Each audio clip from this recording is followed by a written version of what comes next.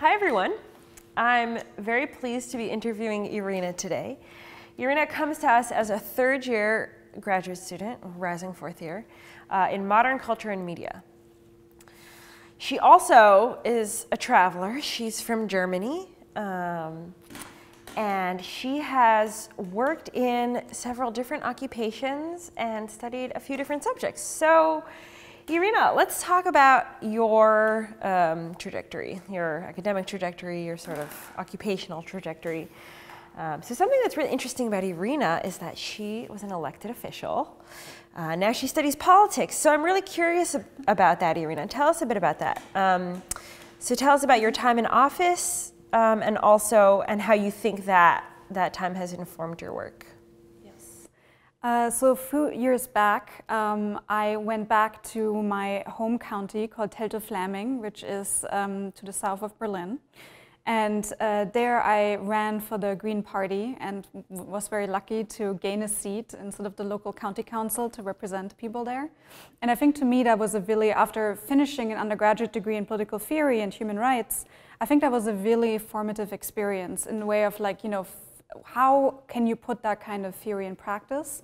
And how does political collaboration actually work in practice? So both the challenges of it and the importance of it you know working not just within your party and within your party platform where it's you know you can take certain things for granted that you already share sort of the same ideas and values but also how do you reach you know out to um, you know build coalitions both within the community with other parties in order to get your projects realized um, and so to me, I think it really uh, was a very productive challenge to the kinds of theories I had studied in undergrad, mm-hmm. and then having to put them into practice and, and work them out. And so both I learned about, you know, also what this, uh, you know, program is about the, the, importance of collaboration and how to talk across disciplines, across party uh, platforms, and also, you know, to build communities, but also when to draw the line and say, you know, this is what my political values are, this is what I'm standing for, and I'm not willing to compromise on all of it. So I think that's also why uh, that working experience before coming to do my PhD uh, was really formative and important. That's great. Um, that's great. That's really interesting. Um, and I think what you're talking about will will explain some of the background for your current dissertation project. But before we get there, let's talk about your academic trajectory. So you started off as an undergrad um, in political studies, and then you did your master's in literature, and now you're in modern culture and media. Can you reflect on that um, journey for us? Yeah, so I think I was always sort of interested in the question of both knowledge production and of power. And so I think political theory, at first, I, I was really drawn to that because I've always asked myself sort of how do communities form, um, how can we make a difference in the world? I mean, from a very sort of basic um, interest and, you know, how can we build collective power uh, in the face of injustice? And then um, sort of going from that, I, um, I wanted to ask more about the importance of language and the politics of language and sort of how we narrate and tell the stories of our communities and our world and our ideals. Um, and so that drew me also to questions of literature. You know, uh, how do we produce that kind of knowledge? How do we create shared worlds through um, through narrative? Um, and then bringing both of those interests together, I think media studies really does that. It asks the question sort of where does power lie? How are we possibly like, um, how do systems of control or modes of power operate? Um, through you know, the kinds of media stories we consume and the ways information is presented to us. How do we imagine our communities into being through media? Um, but also sort of where are those gaps? Like where, where does language sometimes fail us? Where can we find these openings for deconstruction or productive kinds of failure that you know I really took as um, formative from my time studying literary theory, that these both things always exist sort of in tension. That's great. So, so tell us about where you are now. What, what are you thinking about? Um, what are you planning for your dissertation in brief, or a part of it? Doesn't have to be all of it, obviously. yeah, um, but, but what are sort of the things you're thinking about now? So my current project um, is about sort of three major themes or questions. Um, and the first one is I want to think, so my medium that I'm focusing on in my studies is digital media. And I want to kind of think about uh, with digital media and one of the most central questions of political theory, which is the question of uh, what kind of public space can a digital platform be? and how can it enable or disable sort of the formation of collectivities? How does it structure the way we consume information again, or the ways we sort of you know structure communities online? And so related to that, I want to ask sort of what are the political architectures of appearance that digital platforms you know enable, um, as well as um, sort of what would it mean maybe to care for moments of the political? And for me, the political stands for you know moments when what it means to be in common is open for uh, discussion or rewriting or redefinition.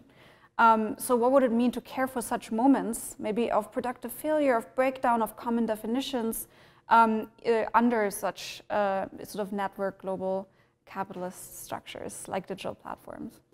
So tell us about these digital platforms a little bit. What are what are the structures that they employ? How do they kind of change the political landscape and, and political community? Um, so one thing in my own work that I focus on is not just, you know, we, we tend to think a lot about the kind of content that's hosted on the platform, but I think a lot about sort of the underlying machinic system, the kinds of formats and how they structure the ways we receive information. So I feel like, um, I mean, I feel like I, uh, so digital platforms are often structured by some things like algorithms, protocols, programming languages, and sort of steer us towards a homogenization of uh, formats and categories um, and a certain type of, of language. And so part of what I argue in this current project is that even though it's often overlooked, platforms hold very specific kinds of governing power about how categories get to be um, you know, instituted and how content gets to make an appearance. Uh, so there, and what get, actually gets to flow into appearance on the screen and how. So um, one way this, is, this power is exercised, for example, is through the ranking algorithm um, for saying, you know, this is actually the most important. This is relevant to you in your avowed subject position. So that's what we're going to put like on top of your newsfeed. And this is really just irrelevant and, you know, worthless. And you're not going to be interested in that. And that's a political power that these platforms wield in the sense of like, look, there's something that's really important to all of us. Facebook, for example, you know, has a get out the vote feature that it shows to all users based in the United States on election day. But then certain, you know, other political movements, we can, we can think about Me Too movement or Black Lives Matter, are sort of, you know, segregated into individualized interest spheres where they, they don't get to make an appearance as supposedly relevant to all, but they only, you know, uh, appear in certain news feeds, not others. So, are you saying that media determines our political engagement and our political thinking? Um, and can you tell us a bit about sort of your, your more general approach to these uh, to technology and to these uh, digital media platforms? Mm-hmm. So that's a really great question because I really want to reject both, like both this kind of narrative of like media is a kind of ubiquitous manipulation machine, and this governing power is absolute and can absolutely determine the ways we consume information, which is definitely not true. It is a mode of power, but it fails all the time. Platforms never really, or very seldom, like they don't often work or always work as they should. Um, and there's all these moments of failure where, again, I think those are moments of the political, where sort of the algorithm shows us something we find surprising or something we haven't encountered before. But I do think we have to take the power, the governing power seriously that those uh, platforms hold. And yet we also need to show that there are these moments for creative misuse, like a productive failure that you know we can maybe find in the glitch or the moment of surprise, um, where you know the user is manipulated, but the user themselves are sort of opting into like moments of refusal, or the platform is sort of misused accidentally. And I think there is a lot of you know potential in those moments as well. So, if so, can you tell us a bit about what a moment of failure looks like and sort of what the possibilities are? And also, as a follow up to that, um, if Facebook is constantly improving its algorithm, do you think those moments will go away? And does that mean that Facebook has more mm-hmm. power than than we might want? Yeah. I mean, those governing power is always adapting. So in some ways, obviously, its aspiration is to make its system run more smoothly and to no longer have those moments of what I would call failure. Um, but I think it can never be completely sort of smoothed out of existence because the platform will never work perfectly, and it's the same sort of in life and the governing structures that we have.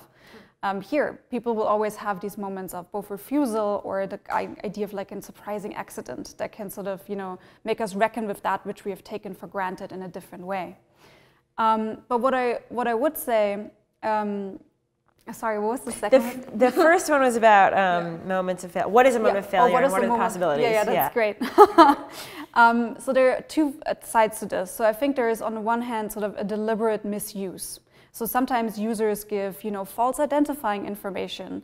They uh, deliberately confuse the algorithm or they, you know, sometimes users stage even like collective attacks on servers and try to sort of, or try to sort of, uh, you know, um, install obfuscation software or like actually program something um, that is structured by a different logic. And so I'm thinking like along uh, Kara Keeling's work on Queer OS, where she's trying to think about social operating systems, for example, that facilitate uh, along different logics. So a social operating system that would facilitate imaginative or uncommon or rational kinds of relations instead of this kind of hegemonic logic of optimization and you know the same always the same categories or the same sort of forms of connection that take place in some digital platforms.